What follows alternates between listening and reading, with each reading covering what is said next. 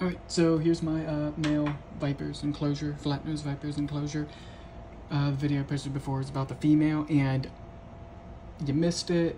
Um, but I put her in her water bowl and she started drinking. That was the cutest thing I've seen today. So let's see if we can get this male out.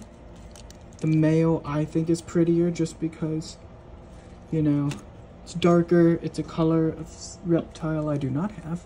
And there he is. Wow, look at him. What a big viper he's gonna be. Oh, let's see if we can get him safely. I'm trying to make it quick, but safe. There we go. Come on. There we go. So, right here is my nail, is my male, sorry, flat nose viper.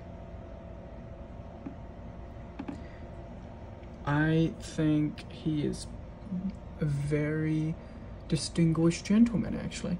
So I don't. I just check on him, you know, every other day because they're babies. They haven't eaten yet since I've gotten them about a week ago. But I'm gonna put this one in the water and actually see if it'll drink like the female did. Let's see if I can show you guys. Will it? Okay, so this guy absolutely does not enjoy the water. But I just wanted you guys to see him, how pretty he was very deadly. Still have to respect him, but, you know, a very beautiful snake nonetheless.